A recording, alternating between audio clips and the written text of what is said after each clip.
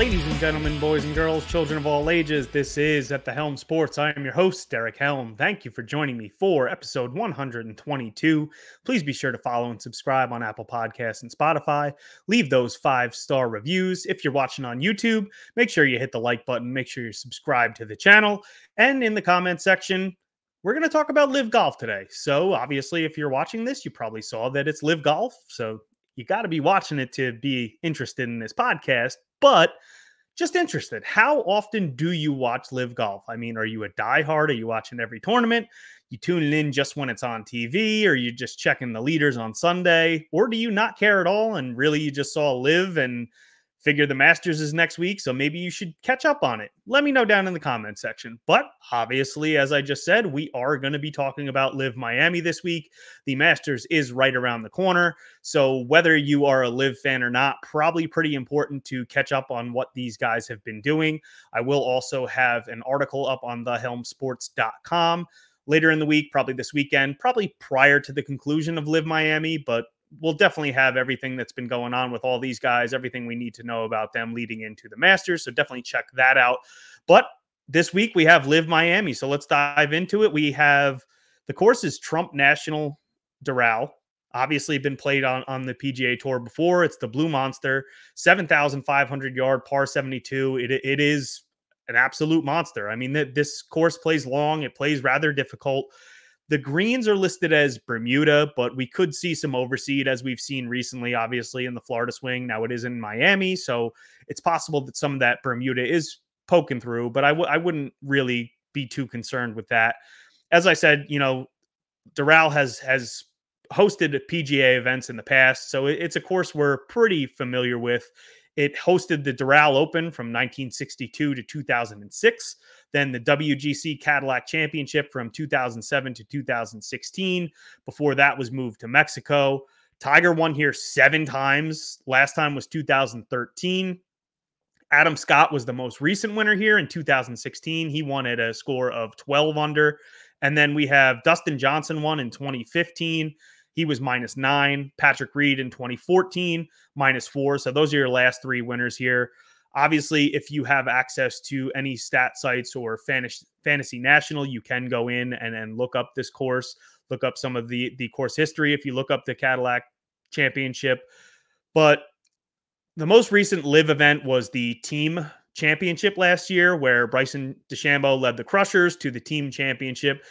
Bit of an interesting format, really not much you can go on from a strokes standpoint, but – just most recently, I, I, I do think that Bryson playing well here, even though it was a team event, it is a course that probably suits him very well.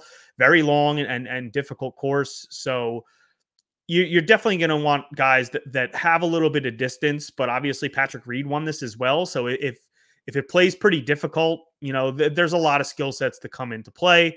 Bogey avoidance is definitely going to be needed.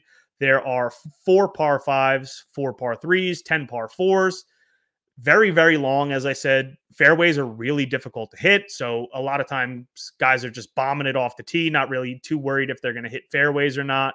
Average driving distance comes in at about 282 yards, which is slightly above tour average. But we're not talking about the PGA Tour. We're talking about LIV. But this is the information that we have to go on. Approach shots 24% from 200 plus. So definitely going to have to be dialed in with the long irons. As I said, if if you're focusing on guys that have a little more distance. Maybe it makes for a little bit easier of approach shots, you know, as we've seen Bryson in the past bombing it off the tee and he's hitting the wedge while other guys are having to hit a seven iron. So just something to keep in mind there. Definitely want ball strikers with a little bit of distance. And definitely you got to be good with the mid to long irons here. Now, as far as the field goes, obviously it's it's LIV. We have everybody here getting ready for the Masters one week out.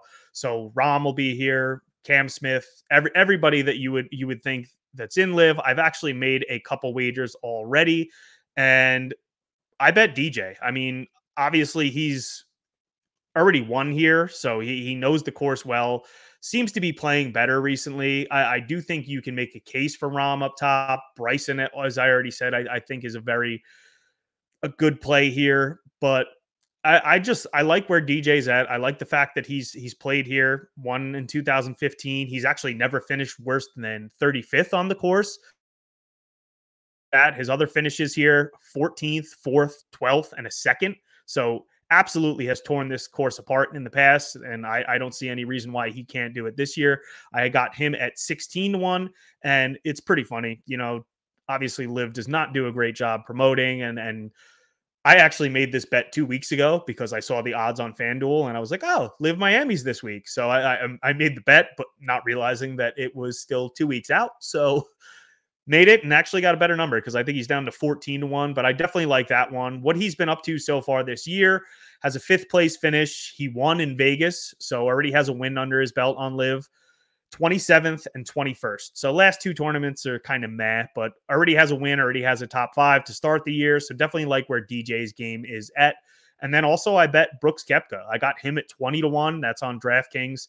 I do think that he can also play well here. Long, difficult course. I mean, that that's Brooks right there. So those are my two bets. And I'm thinking about possibly a top 10 on Bryson at I think it was minus 110. So going to shop around, see if I can maybe get a little bit better of a number. But I do think this is a good course for him. I don't want to bet too many guys here to to win, but I, I do like DJ and Brooks. Brooks has played here before, 23rd and 17th. So not incredible finishes, but not too bad. And obviously that was quite some time ago, a little bit before Brooks really hit his peak. So he's been playing all right this year as well. Doesn't have a, a win yet, but finishes this year came fifth, 12th, 12th, and 28th. So he he's been playing good golf. Obviously, we know Brooks heading into major season. He's he's probably going to be clicking on all cylinders. So I, I do like the two of them quite a bit. If you wanted to go a little bit further down the board, I do think that Patrick Reed is in play here. It's a guy that's already won here.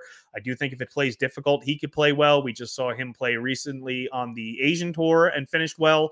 So I, I, think that's a guy. Same thing as I said with Brooks. As we get close to the Masters, this seems to be a lot of times where he's peaking. I, I think he's in play. I've seen his number all over the place, so definitely shop around if you want that. And then further down the board, another guy that has actually played this place very well in the past and also won is, is Bubba Watson.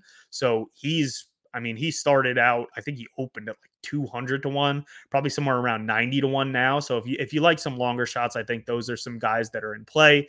But just wanted to get a quick pot out for LIV. Obviously, a lot of people don't really care too much about it. Some people even hate it, but as I said at the top, I do think it's very important that you be paying attention this week because you're going to need to know what these guys are doing heading into the Masters if you're going to be placing any wagers or playing any DraftKings.